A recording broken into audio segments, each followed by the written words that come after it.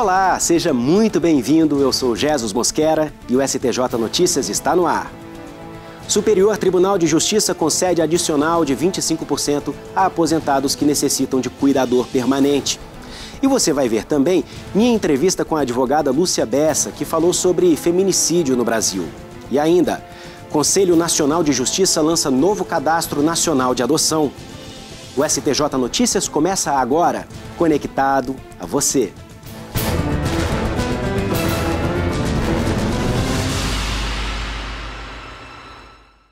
Nós começamos o programa desta semana com uma decisão da primeira sessão do tribunal. Por cinco votos a quatro, ministros concederam adicional de 25% a todos os aposentados que necessitam de cuidados permanentes de terceiros. A regra só era válida para casos de aposentadoria por invalidez. Por cinco votos a quatro, a primeira sessão do STJ decidiu que aposentados com necessidade de cuidados permanentes de terceiros devem receber um acréscimo de 25% sobre o valor mensal da aposentadoria. O adicional, por lei, era concedido apenas aos aposentados por invalidez. O caso analisado pelos ministros é do Rio Grande do Sul. Uma beneficiária do INSS, aposentada por idade, recorreu à justiça para pedir o adicional por conta da necessidade de assistência constante. O pedido foi negado em primeira instância, mas o Tribunal Regional Federal da Quarta Região reformou a decisão e concedeu o benefício, baseado no princípio da igualdade. O INSS recorreu ao STJ, onde alegou que, pela lei, o acréscimo está limitado ao benefício de aposentadoria por invalidez. Durante o julgamento, a ministra Regina Helena Costa afirmou que a situação de vulnerabilidade e necessidade de auxílio permanente pode acontecer com qualquer segurado do INSS, que não pode ficar sem amparo. A ministra defendeu que o acréscimo deve ser pago ainda que o beneficiário receba o valor do teto e cessará com a morte do aposentado. A primeira sessão do STJ ampliou o adicional a todas as modalidades de aposentadoria. O entendimento foi fixado no julgamento de recurso repetitivo, que serve de orientação para todos os processos semelhantes em tramitação no país. 769 processos estavam suspensos, aguardando a decisão. Permitida a importação direta de canabidiol para tratamento de criança que sofre de epilepsia. Para o relator do processo, ministro Francisco Falcão, entraves burocráticos não devem se sobrepor ao direito à saúde. A segunda turma do Superior Tribunal de Justiça confirmou decisão da Justiça Federal e, pela primeira vez, permitiu a importação direta de canabidiol, medicamento extraído da planta cannabis sativa. A decisão também proibiu a União de destruir, devolver ou impedir que o medicamento importado chegue ao seu destino. De acordo com o processo analisado pelos ministros, o pedido de autorização de importação do remédio foi feito por um casal de Pernambuco que tem uma filha com paralisia cerebral. A criança sofre de epilepsia intratável e tem, em média, 240 crises epiléticas por mês. Como outros tratamentos não adiantaram, os médicos indicaram o canabidiol. O medicamento não está disponível no Brasil e, por conta disso, os pais decidiram importar o remédio por conta própria. Diante da proibição da importação, eles entraram na justiça para garantir o acesso ao canabidiol. No STJ, o relator do processo, o ministro Francisco Falcão, não aceitou o recurso da União que alegou que somente a Anvisa poderia autorizar a importação do medicamento. O ministro destacou que não se mostra razoável a conclusão de que a garantia de acesso aos medicamentos deva ficar restrita à Anvisa e que, por vezes, o acesso aos remédios só não acontece por entraves burocráticos e administrativos que prejudicam o direito fundamental à saúde. O Norberto Fischer também teve que recorrer à justiça para garantir a importação do canabidiol para a filha Anne. Ela nasceu com uma síndrome rara, a CDKL5. As crises epiléticas eram constantes. A Anne foi a primeira pessoa no Distrito Federal a ter autorizado a importação da substância. O medicamento só trouxe benefícios a ela. Em nove semanas, a Anne passou de ter 60 crises é, por semana e nove semanas de, de uso do medicamento ela zerou. Ela não tinha mais crises convulsivas. E isso nunca tinha acontecido antes. Para o Norberto, é preciso desburocratizar o acesso das famílias ao canabidiol. Se uma família precisa se, é, recorrer à justiça para conseguir ter o seu direito à saúde garantido, significa que as instituições ainda estão atuando de forma burocrática. Então a gente precisa rever os processos, precisa reavaliar o que é ou não é prioridade para que as pessoas não precisem ir atrás da justiça para garantir o seu direito.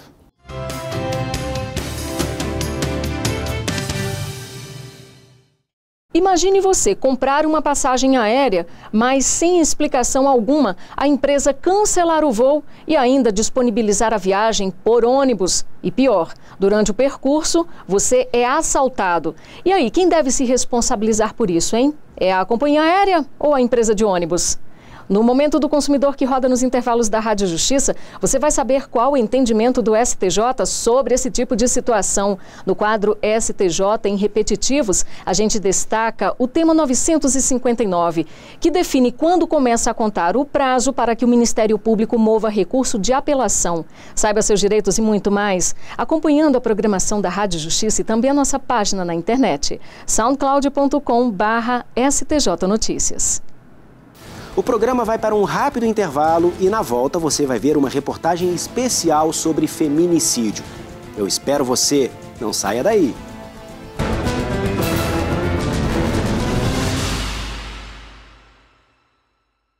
O mundo moderno gira em torno da velocidade da informação que precisa ser segura e confiável.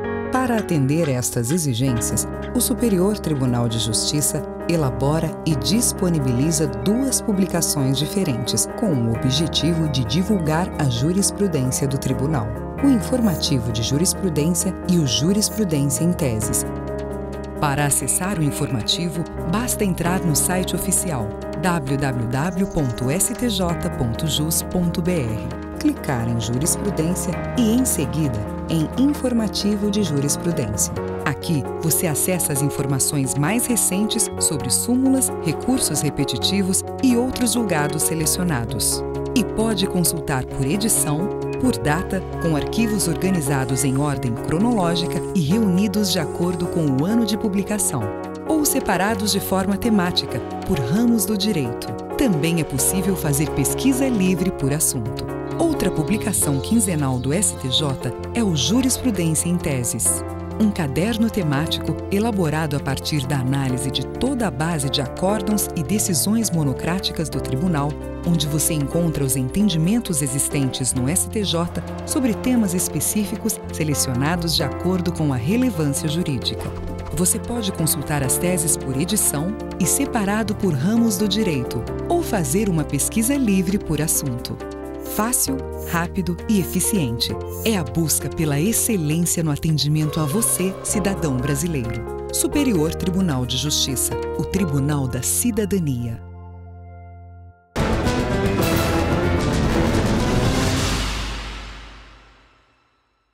O STJ Notícias está de volta. Na reportagem especial desta semana, vamos falar sobre feminicídio. Você vai conhecer a história de mulheres que foram vítimas de relacionamentos abusivos e o desfecho dessas relações.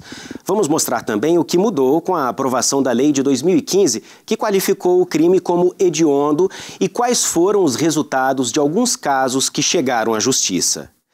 E para esclarecer as principais dúvidas dos internautas, eu recebo aqui no estúdio a advogada Lúcia Bessa. Muito obrigado pela presença, doutora. Eu que agradeço, Jesus. Muito obrigada. Antes de a gente conversar, eu convido a senhora e você que está assistindo a acompanhar a uma reportagem especial sobre o assunto. Quando entrou na casa de Jéssica e passou pela sala, Ronan encontrou a ex-namorada e a avó dela. Ele chegou e entrou com, a, com o cadeado na mão, na mão esquerda, e a chave e, o, e a corrente. E aí falou, Jéssica, falou baixo. E eu ali dobrando as roupas, separando as camisetas. Aí ela tava aqui assim, quando eu falei, corre, Jéssica, ali, ela só fez assim para entrar. O tiro já pegou aqui no peito dela. Quando ela entrou, ele deu outra pelas costas aqui. Jéssica Lainara da Silva Souza tinha 25 anos. Ainda comemorava a aprovação no concurso para o Corpo de Bombeiros do Distrito Federal. E acreditava que o conflito com o ex-namorado havia sido superado. Estava enganada. No dia do crime, Ronan Menezes do Rego tinha 27 anos de idade e três de polícia militar. Testemunhas dizem que a farda e a arma do serviço eram usadas como instrumentos de intimidação contra Jéssica e qualquer pessoa que ousasse defendê-la. Familiares e amigos identificaram um relacionamento abusivo, mas ficaram em uma dúvida comum em casos de feminicídio: denunciar ou não denunciar pensava, meu Deus, se ele é polícia, como é que eu vou lá na delegacia, vou denunciar ele, vai falar, cadê prova? Ele fica com raiva e vem e faz alguma coisa com meus filhos. E realmente ia acontecer, porque ele fez com que fez, ameaçou ela e tirou a vida dela. Feminicídio está previsto na Lei 13.104 de 2015, que modificou o artigo 121 do Código Penal. A alteração incluiu o feminicídio como circunstância qualificadora do crime de homicídio. Além do Código Penal, o feminicídio entrou na lista de crimes hediondos previstos na Lei 8.072 de 1990. O feminicídio foi tema de um julgamento recente aqui no Superior Tribunal de Justiça. Um homem do Paraná foi preso em flagrante e denunciado por ameaça, vias de fato e feminicídio. Após ter a prisão convertida em preventiva, ele tentou obter a liberdade junto ao Tribunal Estadual, que indeferiu o pedido. Diante dessa negativa, o acusado recorreu ao STJ, mas a quinta turma confirmou a decisão do Tribunal Regional do Paraná.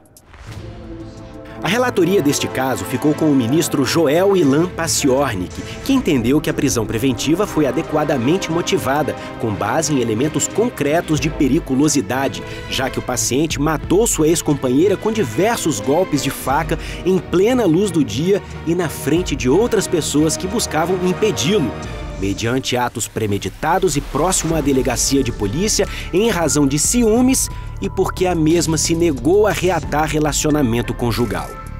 Segundo o ministro, tais fatos demonstram a necessidade de garantia da ordem pública. Para diferenciar o feminicídio de um homicídio comum, é necessário avaliar a relação entre vítima e assassino o fato do homem ser uma pessoa com histórico de comportamentos agressivos, já tem outras ocorrências relacionadas à violência interpessoal, quer dizer, é alguém que tem um problema, já parte para agressão física para resolver o problema, mesmo que sejam com outras pessoas ou com outros relacionamentos anteriores. Isso é um fator de risco. A maioria das mortes são praticadas por companheiros, ex-companheiros, namorados, ex-namorados. Isso não significa que os outros parentes da família também não pratiquem atos de violência, que pessoas que moram na mesma casa também não pratiquem atos de violência, mas a maioria dos casos são os decorrentes de relação íntima de afeto. O promotor explica que a maioria das vítimas do feminicídio é formada por jovens de 15 a 30 anos de idade. Muitos casos estão associados ao uso de drogas e bebidas alcoólicas pelo agressor. O domínio econômico sobre a mulher também é um fator de risco. Aliás, afastar a mulher do emprego e da rotina que ela seguia é uma estratégia recorrente dos algozes.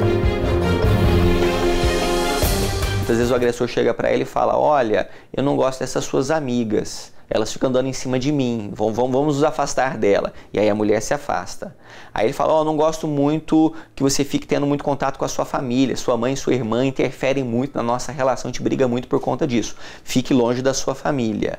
Daqui a pouco ele fala: Olha, acho que você devia largar o seu trabalho para cuidar melhor das crianças. Você não está sendo uma boa mãe, as crianças precisam de você. Aí ela sai do trabalho. Olha, você não devia ir para a faculdade né, é muito perigoso, você sai tarde da noite, tem o risco de sofrer um crime, é, venha ficar em casa. E ele vai cortando as relações dessa mulher, que a hora que ele corta tudo, a mulher está totalmente na mão dele, não tem para onde pedir socorro.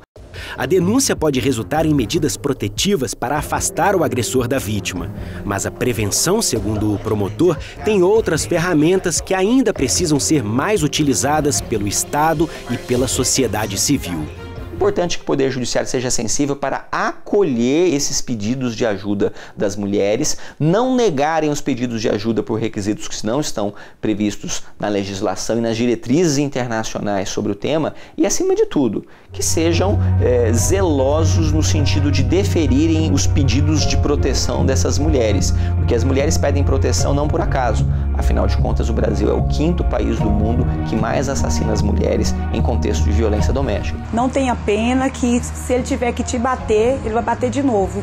E denuncie, porque se ele tiver que te matar, é isso que vai acontecer. Se não denunciar, vai matar. Então denuncie, não tenha pena, não tenha pena da ele te bate hoje, amanhã ele tá lá com a cabeça baixinha, não tenha pena dele, denuncie.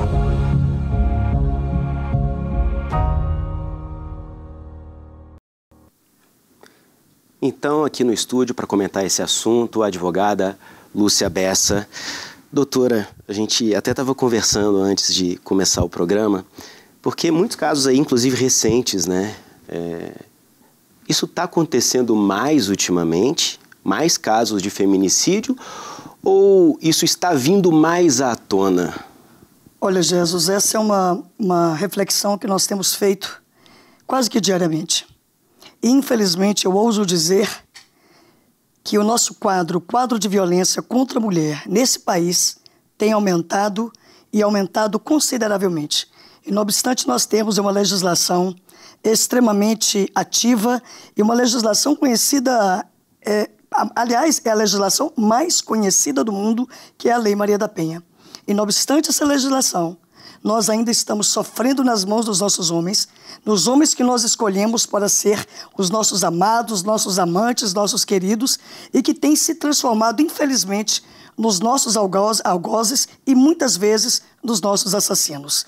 A lei Maria da Penha não está sendo ainda suficiente para mudar uma situação que é uma, uma situação extremamente histórica, uma situação histórica, onde nós mulheres, culturalmente, fomos criadas para sermos subalternas aos nossos homens. E se nós é, não aceitarmos as imposições que nos são feitas, nós sofremos uma pena. E essa pena pode ser um xingamento, um empurrão, um tapa, uma facada, um tiro. Por que estaria aumentando? Nós sabemos que isso é uma questão cultural e que isso é uma questão que demora. A gente sabe que desconstrução de sociedade, de uma cultura como a nossa, machista e misógina, ela é demorada. Mas eu tenho dito a você e tenho dito a várias pessoas que a gente tem conversado por esse país todo, que infelizmente nós precisamos de medidas mais eficazes. E uma delas, como bem colocado pelo nosso promotor Tiago Piero Bom, nós precisamos sim de prevenção, nós precisamos que os nossos jovens, as nossas crianças, entendam que há outras formas de dirimir um conflito, de dirimir uma contenda, de resolver uma questão que não seja violência. E muitos jovens, sabe, Jesus, quando ele, que vive naquela relação abusiva com seu pai, a sua mãe ou os, os seus responsáveis, e saem para um outro contexto, ele muitas vezes replica esses comportamentos violentos aonde ele vai. E muitas vezes, infelizmente, é no ambiente escolar. Convido a senhora a acompanhar a primeira pergunta enviada pelo nosso internauta nesse caso José Alves, todo homicídio de mulher é caracterizado como feminicídio.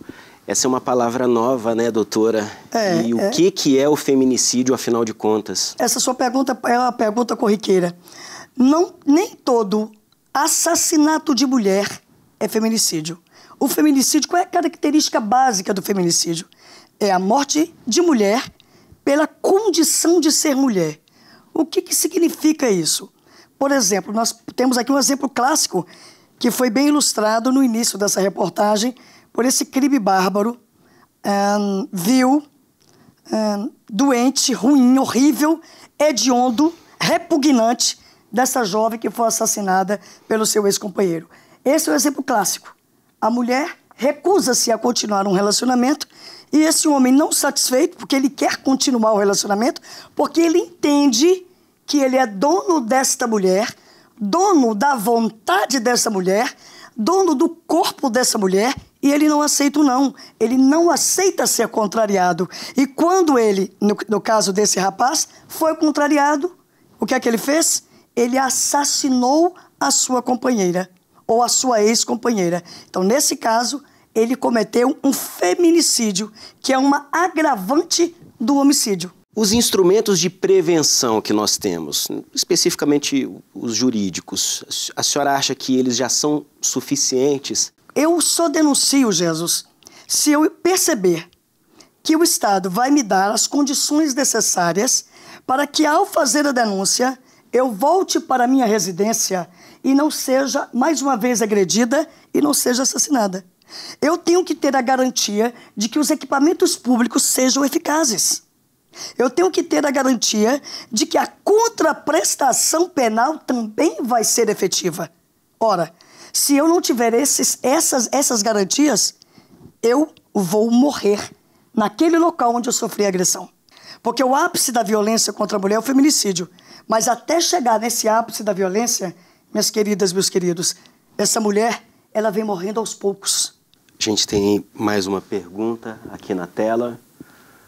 Andréia Normanda, de Belo Horizonte, pergunta em relação à penalização de crimes. O que mudou com a aprovação da lei do feminicídio em 2015?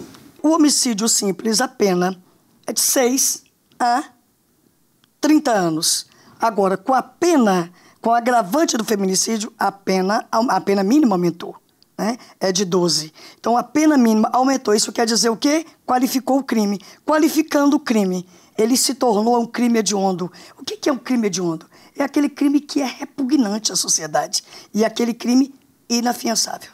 Vamos para a última pergunta agora. Bianca Braz. Assassinatos de mulheres trans podem ser enquadrados como feminicídio? Bianca, felizmente sim. O que, que é a mulher trans? É aquela que tem o sexo biológico diverso do seu sexo ideológico, do seu sexo psicológico, daquilo que ela entende. E felizmente nós já temos N jurisprudências no sentido de que o feminicídio também aplica aos ao assassinato de mulheres trans. Muito obrigado pelos esclarecimentos. Eu é que agradeço, estamos sempre à disposição e a OAB, não só do Distrito Federal, mas a OAB do Conselho Federal está à disposição de toda a população para esclarecer e prestar as assistências devidas. Obrigado, doutora Lúcia. Nós vamos para mais um rápido intervalo e na volta você vai ver. Conselho Nacional de Justiça lança um novo sistema para facilitar a adoção.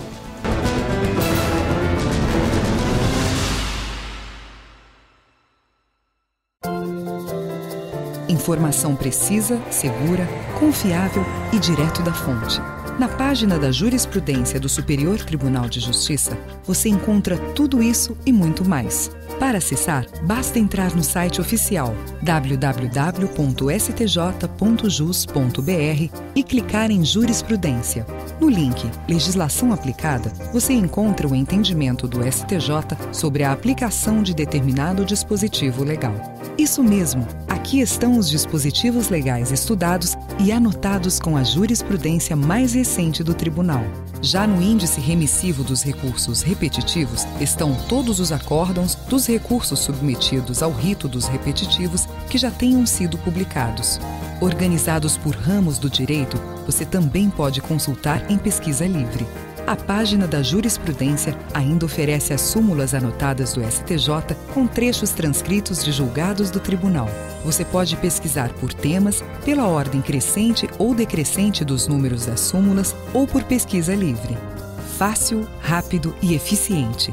É a busca pela excelência no atendimento a você, cidadão brasileiro. Superior Tribunal de Justiça. O Tribunal da Cidadania.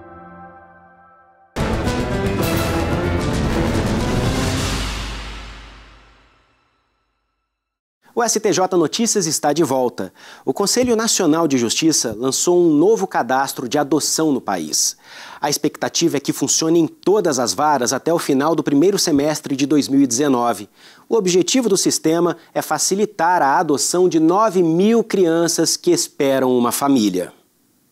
O Cadastro Nacional de Adoção ganhou uma nova versão. O evento de lançamento da plataforma, coordenada pela Corregedoria Nacional de Justiça do Conselho Nacional de Justiça, contou com a presença da presidente do Superior Tribunal de Justiça, ministra Laurita Vaz, que falou sobre a importância de criar ferramentas que facilitem a adoção.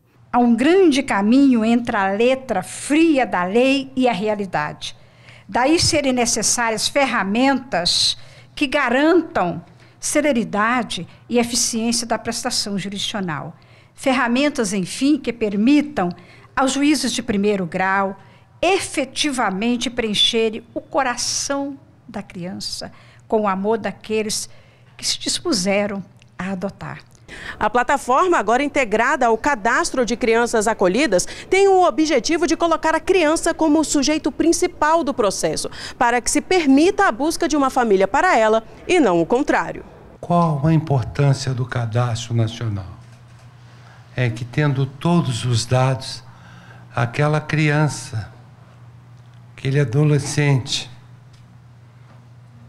ou principalmente a criança, que está ali esperando ansiosamente por uma adoção, que não tem um pretendente na sua cidade, na sua comarca, na sua região, pode ter em outra, pode ter em qualquer outro lugar do Brasil.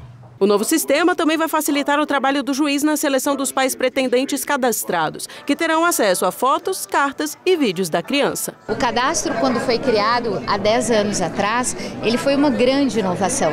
Ele, na medida em que ele se tornou nacional, ele já foi, naquele momento, um grande avanço. E essas modificações, elas foram sendo percebidas e foram sendo sentidas na medida em que ele foi sendo utilizado. E agora ele veio também como uma resposta da própria tecnologia, que naquele momento ainda não existia é, essa facilidade que hoje já se tem. Terceira turma do Superior Tribunal de Justiça inaugurou a nova ferramenta de julgamento virtual de recursos, a e-Julgue. O objetivo é dar mais celeridade aos processos. O STJ realiza hoje a primeira sessão de julgamento virtual de embargos de declaração, agravos internos e agravos regimentais. A terceira turma foi escolhida para iniciar o uso da nova ferramenta, a e-Julgue. O julgamento virtual está previsto no regimento interno do STJ e tem o objetivo de dar mais celeridade aos recursos e proporcionar um trabalho mais eficiente. De forma totalmente online, os ministros poderão exercer a função julgadora de qualquer lugar, sem a necessidade de estar presente para que haja o julgamento, já que o sistema poderá ser acessado pelo computador e a qualquer hora. Com o fato de ser possível examinar os recursos que, como disse, são de de grande expressão numérica nos julgamentos presenciais, espera-se que os ministros contem com mais tempo durante o período da sessão presencial para debater as questões que são trazidas. Obedecendo a cronograma previamente estabelecido, o relator faz o pedido para que os processos sejam colocados em pauta. Essa pauta é publicada e, em cinco dias úteis, os advogados, o Ministério Público e os defensores públicos podem se manifestar por meio de petição.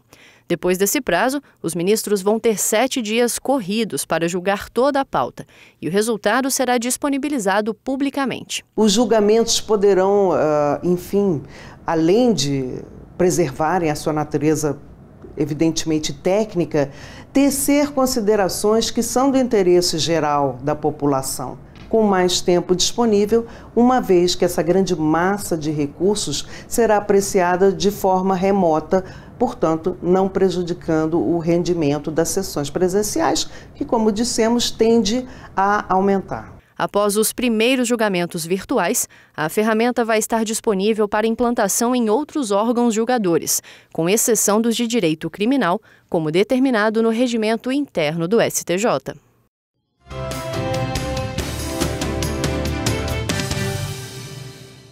A sexta turma do Superior Tribunal de Justiça restabeleceu a prisão de dois policiais militares acusados de submeter assaltantes a uma sequência de espancamentos. Segundo o ministro Rogério Schietti Cruz, para que haja tortura, independentemente da gravidade ou intensidade, basta que a conduta tenha sido praticada com o fim de obter informação, declaração ou confissão da vítima ou de terceira pessoa com sofrimento físico ou mental.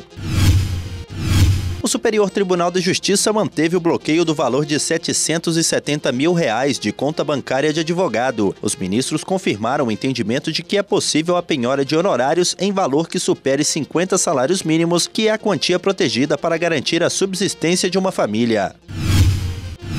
E a quinta turma do Superior Tribunal de Justiça afastou o princípio da proporcionalidade e manteve a prisão do padrasto acusado de abusar da enteada de 9 anos. Para os ministros, não é necessária a conjunção carnal para configurar a prática do crime. E o STJ Notícias termina aqui. Na semana que vem, novas decisões dos ministros do Tribunal da Cidadania. Você participa do programa enviando sugestões de temas ou perguntas por meio da página do STJ no Facebook, pelo Twitter ou por uma mensagem no WhatsApp. E ainda acompanha o que acontece no tribunal pelas redes sociais e pela página na internet. Obrigado e eu te vejo na próxima semana. Tchau!